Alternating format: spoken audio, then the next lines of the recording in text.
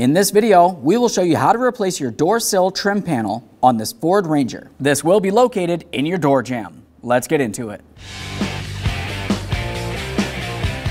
Okay friend, let's get started on our job. With the door open, you can locate the trim panel.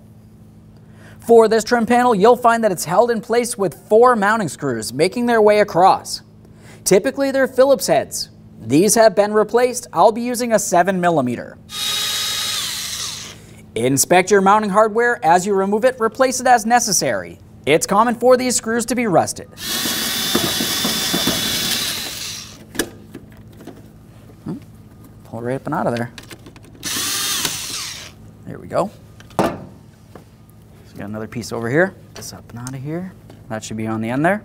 And there it is, friend. The next thing you'll want to do is clean and inspect the mounting points. You'll find that you should have four holes going into the body of the vehicle. Inspect all the way across. Okay, let's get ready for the installation of our brand new trim piece. When we put this in position, you want to pay attention to the carpeting and your seal. The trim panel itself needs to sit on top of both of these areas. Rest it in place, align all four of your mounting screw holes, start each of them in, and then you can snug them up.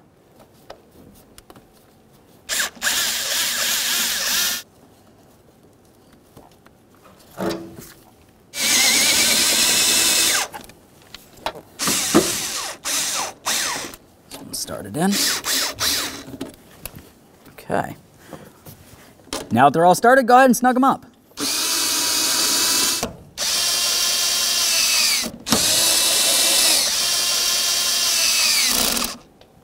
Once you have everything tight, one last check to make sure we are completely seated underneath the trim panel. We want to make sure the carpeting and the seal is completely situated.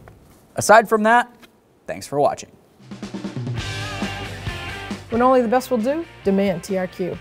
The only company that lets you view before you do. TRQ is committed to offering the highest quality aftermarket auto parts that are engineered for peace of mind. Thanks for using and viewing with TRQ.